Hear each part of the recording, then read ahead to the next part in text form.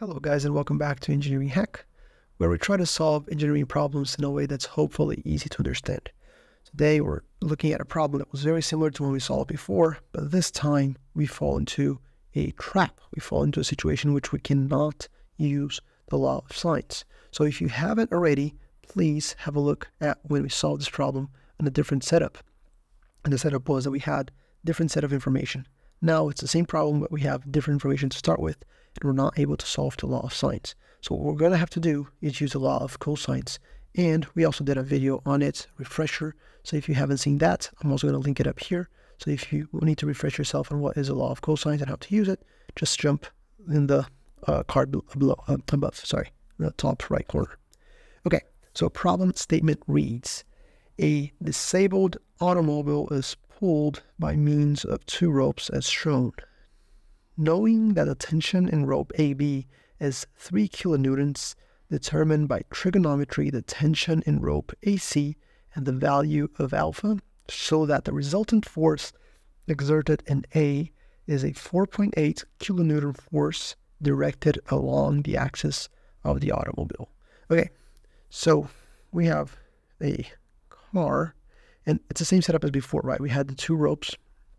The two ropes before we had we needed to find out what was the tension on one of them so that the resulting force was going to be um, right along the axis of the car. We talked about how this is a, a force that's now that direction there because the, the car is reacting to these forces. Um, but this time it's slightly different because we also need to find out one of them, right? AC in this case, but we want to find out AC so that this guy here is 4.8 kilonewtons, right? So we want this one to be 4.8 kilonewtons. Okay. Now let's set this up um, normally, and we're going to go, you know, fall into the trap on purpose kind of thing together, and then we do, you know, we solve, we go to the the part in which we actually solve it. Okay. So I'm going to point put uh, point eight, which is just, just the, uh, the the edge of the car there, and I'm going to do my three kilonewtons here three kilonewtons there, three kilonewtons, and then we have know that has a there's a angle with 30. There's an angle 30 degrees here with the horizontal, and then I am after a force of 4.8 here as the resultant. Resultant of what? Of the three kilonewtons and another force here, which is a unknown force. Is there a name for that force? It's AC, right? Because this is point C here, so this is force AC. So basically, if I were to take this guy here, copy it, and paste it, right, and plug it in here, we would have a resulting force, right, like so. However, that's not what I want. I want a force that actually makes the resultant force this one here, right, 4.8, right on the direction. So in other words, I want a force AC that finishes this triangle like so. That's what I want to do, right? I want to know what is the force that I need to be able to get this result right here. So I'm going to go ahead and copy this. Let me go ahead and copy this. And then I'm going to go and paste this. And this is what I'm going to put here. Because this is the one that I want. Get rid of the one I just drew before.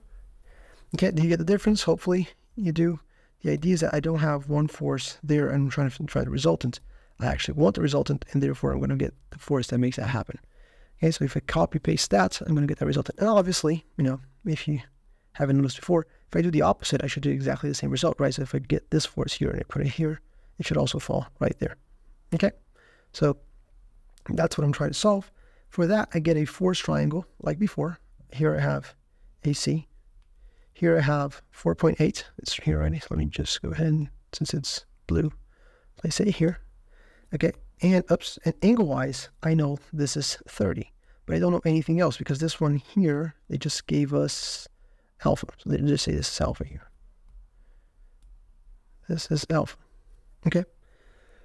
So if this is alpha, then this is alpha here.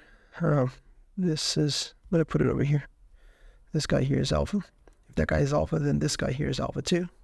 And note that I have two unknown angles because I don't know what this guy here is. I don't know what alpha is. I just know the 30. Okay, so if I try to apply the law of sines now, look what's going to happen. The sine of 30 is the one related to the force AC. Okay, the sine of alpha is related to the force of 3 kilonewtons. And the sine of, let's give this guy a name. Um, let's give this guy a name. Let's call this guy beta. Beta. And the sine of beta is related to my force 4.8 kilonewtons. And it looks like this is all good and we could use this to solve, but we can't, right? Because we have three equations here and three unknown, uh, well, have two equations and three unknowns kind of thing, right? If I had two of these values on the same side, I have th sine of 30 with the 3 on the same side, I could solve this with law of sines. If I had the 4.8 and the sine of 30, that could solve it. Because they're each in one equation, I can't really solve it, right? Because if I try to do this equation here, I get one equation and I have two unknowns. If I try to do this one here, same thing. One equation, two unknowns. If I try to do, obviously, this one equals this one, same thing. One equation, two unknowns. So in spite of, you know, having the three equations, quote unquote, I'm not able to solving this with the law of sines. Therefore, what I need to do, right, so this is not going to help us, at least not for now. So what I need to do is use the law of cosines, right? So once again, that's why we did a full video here on the law of cosines. If you want to check it out to remind yourself, the law of cosines works precisely on this kind of situation because what we have here is, let me redraw my triangle. So I have this, this, and this. I know I have this side of 4.8, I have this side of 3, and I have this one angle of 30. That's precisely where the law of, of cosines comes in because what I can do is this is the side unknown, right? This is my, call it C. This is the equivalent of my gamma on the other one. And I know that C equals the square root of a square plus b square minus 2ab cosine of gamma. This is my a, this is my b, and by the way, it doesn't matter, right? This could be b, this could be a, this doesn't change anything. Um, so a, b, gamma, I have all those, and I can find what is c. Okay, so translating that to our problem, this is, um, what's it called?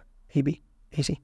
This is my AC in the problem. So translating this equation is going to be AC, my force AC equals to the square root of 3 squared plus 4.8 squared minus 2 times 3 times 4.8 times the cosine of 30 degrees.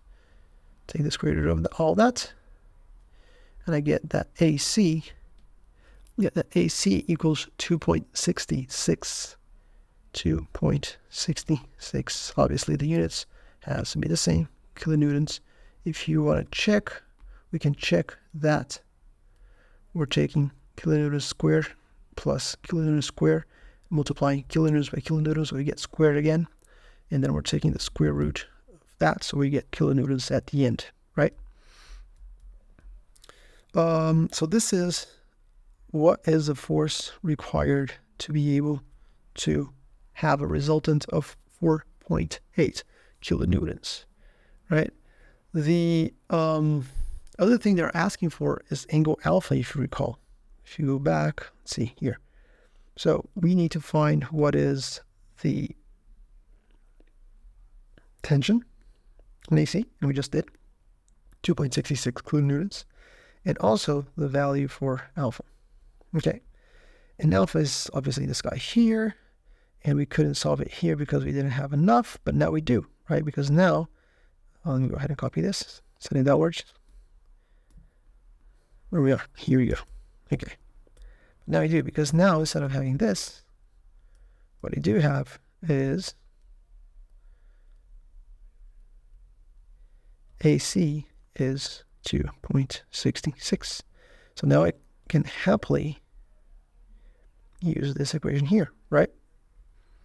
And this equation is going to tell me that the sine of alpha will be equal to the sine of 30 times 2.66 kilonewtons divided by 3 kilonewtons, so the units go away. And therefore, what I'm trying to find is the arc sine of sine of 32.66 divided by 3, which equals alpha, which equals alpha, which equals, come on, which equals alpha, which equals, what did I get? Um, 34.28, approximately.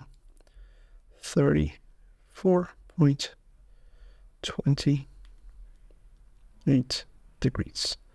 And that's going to be my answer right there. All right, so what does that tell us? Well, when you get stuck with this law of sines, the law of cosines can help you out.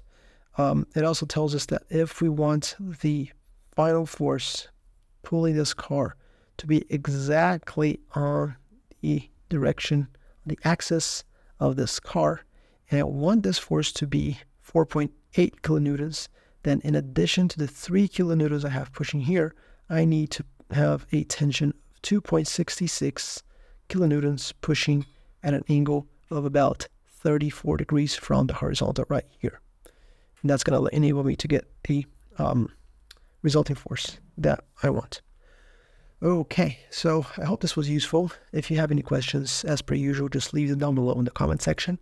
If this video was helpful, consider giving it a like, and we'll talk soon.